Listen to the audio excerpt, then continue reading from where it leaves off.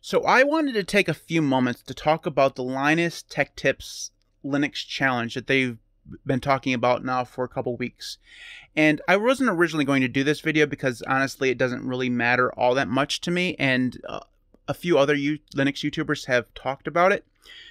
But I've been paying attention to their podcast. I don't watch all their videos, but I listen to their podcast and that's where they've been talking about the logistics of them switching to Linux and planning out this entire series of videos that they're going to do about them switching to Linux. And I've noticed a few things and I wanted to talk about them because I think that the number of people who pay attention to that channel has the potential to be really good for people switching to Linux. I think it could bring a lot of new people in. I also think that if they do it wrong, that it has the potential to drive just a ton of people away. So it could be an utter disaster. And the more they talk about it on their podcast, the more I'm leaning towards this being an utter disaster for Linux because the thing about Linux is that you can't be unwilling to get help, and it doesn't feel like that is part of their rules. Now, I could be wrong. Maybe they are asking for help. They haven't actually made their videos yet, so we only know part of what they've done so far. But it feels like uh, they've experienced some problems that are just really weird, and they haven't sought out solutions or help for those problems. And the way they're talking about it, I feel, is going to be or could have a negative effect on Linux itself. Now, Linux obviously is not going to go away because you know they do a negative review or something. That's not what I'm talking about. I'm just more saying that the perception of Linux over the last year has gotten way better because of things like Steam and Proton and all that stuff. If this comes out and ends up being a completely negative experience for them, it could have a negative impact on that image that Linux has built up over the last year as being uh, much more modern than it used to be in terms of gaming and such like that. So, just a few things that I want to hit on. First of all, so they're using NVIDIA as their uh, graphics cards. Uh, and they're having problems. Um, surprise, surprise, as uh, Linus Torvalds has done and has become a meme. Fuck you, Nvidia. I mean, we all know that that's the thing, right? Nvidia is not a good first class citizen on Linux. It never has been. It has gotten better, but it's still not good. So they would have been way better off using AMD, and they have noted that they would be better off using AMD. But another thing that they're having problems with is that they both, or at least Linus, seems to be using very cutting edge gear in his computer. And if you've ever done that, you'll know that you oftentimes have a bad experience because it takes quite a while, sometimes six to eight months, for new hardware to get not only included in the Linux kernel, that usually happens fairly quickly, but it takes a while for the bugs and stuff like that to get ironed out and work their way into the mainstream kernel. Because, you know, people have to test this stuff and the people who do the testing and stuff like that oftentimes don't even have access to the high end hardware that they have to test. So they rely on the community to test and report bugs and such. So it takes time. And that's going to be a huge issue, I feel, for both of those guys who are switching to Linux because they always have the top end gear. And Linux doesn't do well with that. So that's going to be a huge issue.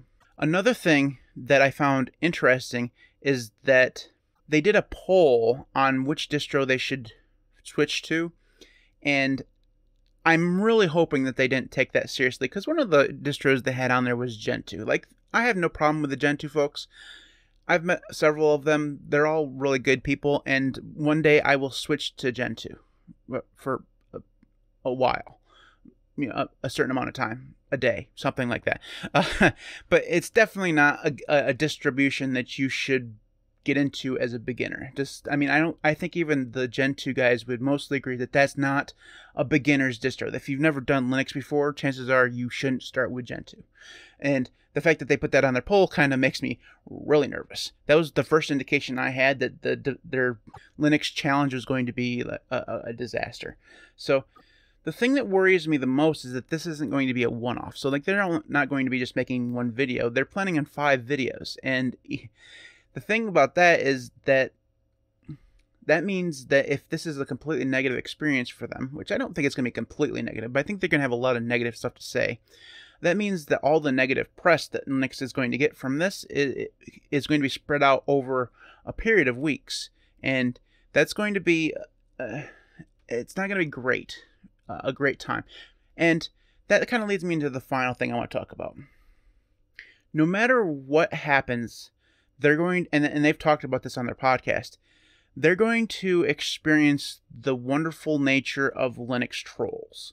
And there are a lot of them out there, and there are people who are on the many spectrums of troll that will come out of the woodwork to comment on their videos. And it's going to be an interesting experience, I think, for them because the, the Linux troll is a very unique beast they they are very passionate about whatever niche they've found themselves in and if you do something even a little bit away from how they think you should do it you're going to hear from it. Now i don't think that it's going to matter to them. Obviously they get millions and millions of comments so eh, they're just going to be the, the trolls are just going to get drowned in the noise but i do think that that negativity from the trolls is probably going to spill out on several other channels and probably filter down to the smaller people. Now, I don't think that it'll filter down to me because I'm just a, a itty, itsy bitsy YouTuber uh, with 5,000 subscribers. Yes, 5,000 subscribers. uh, but um, I, I do think that that the it's going to piss a lot of their series is going to piss a lot of people off uh, if they do something even just a little bit different than the way they should have done it. And as we all know, I mean, in Linux, there's 12 different ways of doing everything. So each way that they could do something has their fans. So if you know, some people like the terminal and we have terminal fans, some people like the GUIs and they have the GUI fans, and you know, all these different ways of doing things, they all have their supporters, and uh, they're all going to come out of the woodwork when uh, inevitably uh, Linus and Luke choose a different way of doing things, or they do things a certain way, but they do it in the wrong way because they're used to doing it. So, yeah, I think that that's going to be a definite problem. Uh, I did just think of something else some of the problems that they have talked about, like before, they, they like I said, they haven't done their video yet, but they've been talking about it in their podcast. Some of the problems that they've been talking about, like Linus the other in in the a few a few podcasts ago or two podcasts ago, said something about Linux forcing him to restart. I've been using Linux now for over four years. I've never once had Linux force me to restart. Now there are moments where you should restart, but you don't have to you can use your computer as long as you want until you do eventually restart.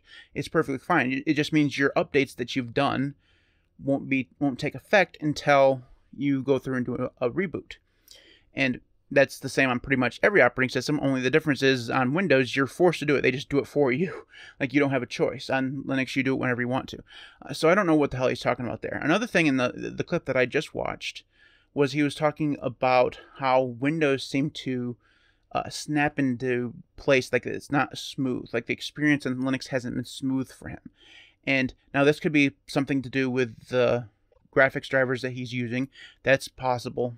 But we also don't know what distribution he's chosen. If he's chosen something like Fedora and he's using Wayland, he could be having problems with hardware compatibility.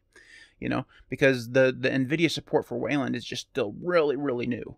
And it's not very good yet. So that's definitely could, could be a problem. I don't know what, like I said, we don't know what distribution he's they've chosen, so it's going to be an interesting uh, experience. To, it's going to be interesting to find out what they've chosen for their distros, and that could have led to some of the problems that they're experiencing because they might have chosen something really weird.